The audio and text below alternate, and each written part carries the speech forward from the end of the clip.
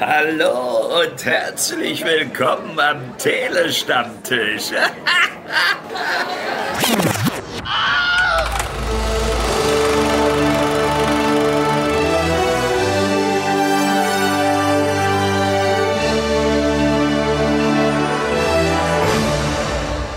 Hallo und herzlich willkommen zum Telestammtisch, liebe Zuhörerinnen und Zuhörer. Ich habe heute den lieben Kenny an meiner Seite. Hallo Kenny. Einen sowas von traumhaft wunderschönen guten Tag, lieber David. Danke. Es freut mich, dich hier wieder bei mir zu haben. Und du hast uns einen schönen Film mitgebracht, Perfect Addiction. Ich habe den Trailer gesehen und da heißt es, es geht um Liebe. Es geht um Leidenschaft. Oh. Und um Rache. Sex. Oh ja. Und um, um, Kampfsport und um Sex. Ja, genau so ist das. Perfect Addiction. Basierend auf der Romanvorlage von Claudia Tan. Da gibt es eine ganze Buchreihe. Aber ich lese mal grob vor, worum es überhaupt geht. Der Klappentext sagt folgendes. Sienna Lane, gespielt von Kiana Madeira, arbeitet erfolgreich als UFC-Trainerin. Ihr Freund ist der amtierende MMA-Champion Jax, gespielt von Matthew Noska. Wobei ich sagen muss, das ist, wenn du Channing Tatum bei Wish beschreibst, ja. so ungefähr sieht er aus. Als Sienna herausfindet, dass ihr Geliebter sie mit ihrer eigenen Schwester betrügt, ne, ach, so eine Bitch, beschließt sie sich an ihm zu rächen. Und zwar mit, an dem Punkt, wo er besonders verwundbar ist. Seinen Titel als Champion. Also fängt sie an, den einzigen Kämpfer zu trainieren, der eine realistische, äh, realistische Chance hat, Jax zu schlagen. Und dabei handelt es sich ausgerechnet um seinen absoluten Erzfeind. Das ist natürlich krass. Was die Rache für Sienna aber nur noch süßer macht. Caden, gespielt von Jay de Merritt, hat sich bislang von, äh, vor allem mit illegalen Untergrundkämpfen über Wasser gehalten. Er muss sich also ganz schön umstellen, um Jax auch in einem offiziellen Fight die Stirn bieten zu können. Aber auch abseits des Rings bahnen sich Komplikationen an und dabei bildet sich ein sehr spannendes Liebesdreieck abseits vom Ring. Ähm, ja, so viel dazu. Hast du schon Bock, den Film zu gucken, David? Das klingt komplizierter, als der Film wahrscheinlich ist. also, das stimmt, ja. Da wird hier wirklich sehr hoch dramatisiert. Wenn man es grob zusammenfassen will, das Ganze ist so ein bisschen Creed äh, gemischt mit ein bisschen äh, Fifty Shades of Grey. Ja, okay. So wirkte auch der Trailer. Ja. Ich, ich muss ehrlich sagen, der Film ist ja selber nicht schlecht. Ich, ich kam aus dem Film raus und dachte so, ja, okay, gut, die Botschaft ist cool. Und Jetzt Leute, ich habe mich wirklich angestrengt. Zur Recherche dieses Podcasts habe ich die Leseprobe des Buches gelesen, auf dem dieser Film basiert. Ich habe mich da wirklich durchgekämpft, ein bisschen, ich ein bisschen so quer gelesen. Die ganze Buchreihe besteht irgendwie aus vier oder viereinhalb Büchern. Das ist ganz merkwürdig. Gibt es irgendwie einen Teil 1, einen Teil 1,5, einen Teil 2. Und dieser Film ist einfach nur Teil 2. Es gibt da noch keinen Teil 1. Und diese Geschichten sind irgendwie so ein bisschen standalone, hängen aber auch irgendwie ein bisschen zusammen. Es ist ein bisschen kompliziert.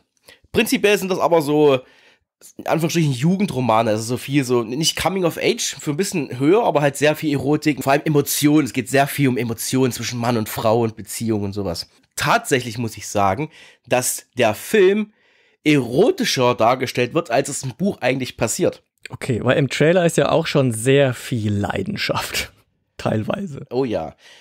Äh, tatsächlich, es geht in dem Buch sehr viel um sie selbst. Also sie hat sehr viel Gedankengänge, warum, wie es ihr geht, ne, nach der, nachdem sie betrogen wurde und so, und wie sie selbst da mit klarkommt. In dem Film allerdings geht es irgendwie, irgendwie sehr viel um Erotik. Und ich habe das Gefühl, dass das im Buch nicht so ist. Also die haben irgendwie so eine Art Porno draus gemacht. Also es wäre, wenn es ein Porno wäre, wäre es ein richtig guter Porno, muss ich sagen. Ja? Schade drum eigentlich, dann hätte man wenigstens richtig machen können. Aber egal. Ich nenne euch jetzt ein Beispiel recht am Anfang des Films, Sie haben es im Klappentext schon gehört, äh, ihre Schwester betrügt sie, also betrügt ihre Schwester ja, mit dem Freund und so, ihr habt es verstanden. Und im Buch als Originalvorlage kommt sie in die Wohnung rein, hört das, macht ein Geräusch und dann kommen die beiden aus dem Schlafzimmer gestürmt. Im Film tatsächlich kommt sie ins Wohnzimmer, wo die beiden gerade auf der Couch am Machen sind. Was natürlich, da werden natürlich sehr schöne Menschen gezeigt, die sehr schöne Körper haben, um das Ganze ein bisschen hervorzudeuten. Das heißt, der Film wird quasi erotischer dargestellt, als es das Buch ist. Natürlich habe ich jetzt nicht das ganze Buch gelesen, aber im Laufe des Films kommen immer wieder sehr konkrete Erotik-Szenen und sowas. Also da geht man wirklich ins Detail, muss ich sagen. Also man nimmt sich da wirklich. Das ist nicht so, dass man mal irgendwie bloß so zwei Sekunden was sieht und da wird die, die Tür zugemacht oder die Kamera weggefadet, sondern da wird schon was gezeigt und verschiedene Stellungen und so. Es ist wirklich, wirklich sehr erotisch. Ja, ich habe auch gesehen, also unter der Dusche mal, auf der Couch und im ja, genau. Kampfring genau. und überall. Das äh, zeigt zumindest überall. der Trailer. Ist der Film eher was für die weiblichen Zuschauer oder für die Männer gedacht? Oder hat man so beides? Ist das so ein richtig so ein Pärchenfilm? Der, der Mann kriegt seine Action mit den ganzen Kampfgedöns und die Frau kriegt ihre, ihr Liebeszeugs, wenn man ein bisschen klischeehaft das aufteilen möchte?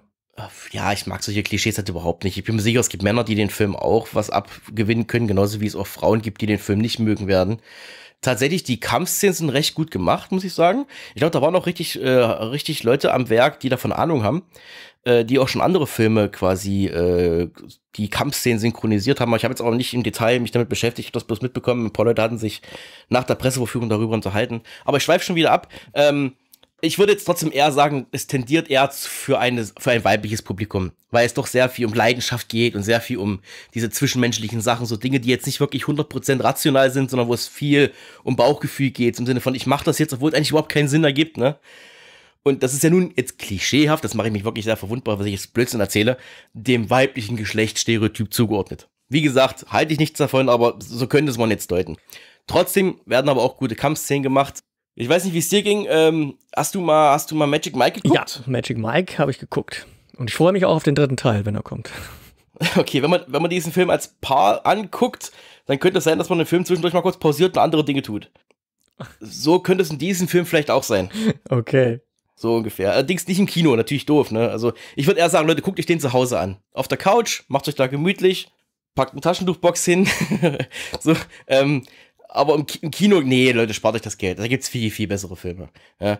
Tatsächlich, äh, er ist trotzdem gut gespielt. Also die Sienna hat sich wirklich Mühe gegeben. Die hat sich wirklich reingehangen in die Rolle. Die, äh, dieser Jax, das ist gespielt von äh, Matthew Noska, wie auch immer, ist halt wirklich wie so ein Channing Tatum. Da sieht wirklich manche Szenen vom Gesicht her, von den Augen her, wirklich eins zu eins aus wie Channing Tatum. also es ist unglaublich. Da haben sie wirklich eine echte gute Kopie gefunden, die sie bei Wish bestellt haben, wie ich schon gesagt habe. Nee, aber wirklich, die Sienna, gespielt von äh, Kiana Madeira, hat das wirklich gut gemacht. Die hat sich wirklich ins Zeug gehangen.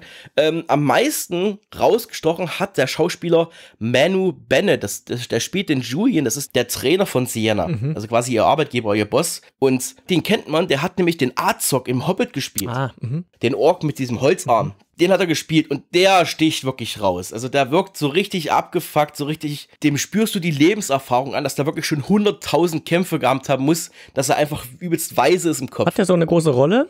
Weil im Trailer, glaube ich, taucht er gar nicht so oft auf. Der kommt immer wieder vor und tatsächlich ist er so einer der rationalsten Rollen. Der ist vernünftig, der ist sympathisch. Mit dem würde ich definitiv irgendwas trinken gehen. Der ist echt cool, der Typ. Also wirklich, die Rolle sticht wirklich heraus, muss ich sagen. Hat mir sehr gut gefallen. Die anderen Schauspieler, die, die Jüngeren, die jetzt nochmal für die Kämpfe zuständig sind, ja, ist okay. Von denen wird man sicherlich nochmal irgendwann irgendwo was sehen. Ob das jetzt Oscar prämierte Schauspieler werden, werden wir sehen. Das glaube ich jetzt zwar eher nicht, aber das, na, man weiß ja nie. Ne? Ansonsten muss ich sagen, auf die Handlung, ich finde, es ist so eine Vertreterhandlung. Also eigentlich steht die Sienna eigentlich ziemlich im Mittelpunkt. Na, eigentlich geht es darum, das ist eine starke Frau, das ist eine Trainerin, die, die äh, hat ihr eigenes Ding, die will sich nicht von einem Mann abhängig machen und so. Das heißt, eigentlich geht's ja wirklich um, um Feminismus. Aber zeitgleich geht's bloß darum, diesen Typen zu trainieren, damit der den anderen Typ auf die Fresse haut. So, und, und sie selbst ist ja auch eine richtig gute Kämpferin, aber sie ist in Anführungsstrichen bloß Trainerin, obwohl ihr Boss sie versucht dazu zu animieren, dass sie ein Profi ist, dass sie selbst kämpfen sollte irgendwann geht's dann auch ein bisschen mehr um sie selbst und dann ist der Film quasi vorbei und das fand ich schade. Ich hätte, wenn das so eine so ein Vorgeplänkel gewesen wäre mit den beiden Beziehungen, so als Aufzieher und man dann merkt, ey, die ist als Trainerin zwar gut, aber die kann noch mehr und man daraus quasi irgendwie noch das, die Geschichte weiterspannt und den Film weitererzählt irgendwie, das hätte ich besser gefunden. Weil so wirkt irgendwie, du hast eine starke Frauenrolle, die die Hauptrolle hat, aber in Wirklichkeit geht's eigentlich gar nicht um sie. Okay, und das, das, das finde ich schade. Ich habe mich äh, immer gefragt, okay, wenn sie so schon mit ihrem Ex quasi umspringt, so einen Racheplan schmiedet, äh, was macht sie dann erst mit ihrer kleinen Schwester? Die war ja auch irgendwie beteiligt, oder? Ich meine. Na, man merkt, sie ist halt, die ist halt die jüngere Schwester, ne? Die ist halt noch ziemlich grün hinter den Ohren und hat halt von, vom echten Leben noch nicht viel Ahnung und von Liebe und sowas. Ja, das ist, das wird halt in der Geschichte weitererzählt. Was mir noch aufgefallen ist, es gibt so ein paar Rollen, ich weiß nicht, ob das im Buch jetzt auch genauso war, es gibt ein paar Personen, zum Beispiel die Nachbarin von der Sienna äh, ist zeitgleich dann auch noch die Bedienung und irgendwo in einem Café, da gehen die irgendwo in einem Restaurant frühstücken und da ist sie ganz zufälligerweise die Bedienung, genauso wie es auch noch andere Charaktere gibt, da ist der irgendwie der Bruder von dem, die sich zufällig kennen. Ich habe das Gefühl, da hat man irgendwie ein Drehbuch geschrieben, dass man so wenig Schauspieler wie möglich mhm. braucht. Ja, er wirkt auch so ein bisschen wie ein Direct-to-Stream-Film. Also wäre das so ein Netflix-Film. Aber du meintest ja, der läuft ganz Ja, so. absolut. Also fürs Kino ist der absolut nicht geeignet Dafür ist der zu, zu, zu normal oder zu nicht besonders genug. Vielleicht hast du einen Valentinstagsfilm, ne? Wo man als, vielleicht wird Ja, das so ein bisschen gut, äh, ja. aufgebauscht. So würde ich das sagen, ja. Also im Großen und Ganzen, es ist, der Film ist nicht schlecht, der ist, ist okay gemacht, die Kampfszenen sind gut gemacht, da ist eine Story dahinter, man hat sich wirklich Gedanken gemacht, aber ich glaube, am Budget hat es hier ein bisschen gehapert und ich glaube, wenn man sich mehr an das Buch gehalten hätte, wäre das Ganze ein bisschen besser rübergekommen. So wirkt es irgendwie, ja, wir wollen zwar einen feministischen Film machen, aber wir packen trotzdem noch ganz viel Männer in im Vordergrund und so, damit wir bloß nichts verkehrt machen, damit es trotzdem die Leute gucken irgendwie. So fühlt sich zumindest an. Keine Ahnung, aber ist schwierig. Okay. Liebe, Leidenschaft und Rache. Also wer auf Testosteron, Frauen, UFC kämpfen und starke Männer, hübsche Frauen und alles Mögliche steht, der kann Perfect Addiction auf jeden Fall mal eine Chance geben. Vielleicht nicht unbedingt im Kino laut Kenny, aber zu Hause auf der Couch sich schön bequem machen und dann vielleicht mal kurz eine Pause einlegen bei den einen oder anderen Genau. Szenen. Ja, danke Kenny, dass du äh, da durchgegangen bist für uns und ihn dir angeschaut hast. Und äh, ist jetzt eine Empfehlung oder dein abschließendes Wort? Er wird, es ist, der Film ist so relativ egal. Also er ist nicht schlecht, aber er ist auch nicht gut. Das ist so, so eine 2,5. Das ist so ein, das ist so ganz schwer zu empfehlen. Also es gibt so viele andere Filme, die man aktuell gucken sollte und wollte und, und will. Oder auch Serien, die man noch gucken will. Also wenn ihr wirklich nichts mehr habt, was ihr gucken könnt, dann könnt ihr euch den geben. Aber ich würde sagen, mir fallen jetzt 100 Filme ein, die ich lieber eher gucken würde, die auf meiner Liste stehen, als den. Also wenn ihr gar keinen Streamingdienst habt und äh, ihr müsst irgendwann mal RTL gucken und das läuft auf ZDF, dann schaltet halt einmal auf ZDF. genau. Okay, vielen lieben Dank. Hört auch in unsere anderen Folgen rein, die es noch so gibt, wenn ihr andere Filmempfehlungen haben wollt beim Telestammtisch. Und ansonsten würde ich sagen, schönes Wochenende. Danke, Kenny. Ja, sehr gerne. Ich kuschel mir jetzt zu meiner Freundin auf die Couch. Ne? Bis dann. Macht's Ciao. gut, ciao. Sehr geehrte Damen und Herren, wertes Publikum, liebe Hörende, vielen Dank für eure Aufmerksamkeit und Zeit. Ich hoffe sehr, euch hat gefallen, was ihr gerade gehört habt. Wir, die Redaktion des Telestammtisch, betreiben ein semi-professionelles Podcast-Projekt zum Selbstmitmachen. Also meldet euch bei uns, wir beißen auf. Außerdem freuen wir uns immer über Feedback via Social Media und E-Mail sowie euren finanziellen Support. Ebenso frohlocken wir förmlich über Bewertungen auf den gängigen Podcast-Plattformen. Wer möchte, darf uns gern immer und überall empfehlen. Alle relevanten Links findet ihr in den Show Notes. Vielen Dank und bis zum nächsten Mal. Euer Andi.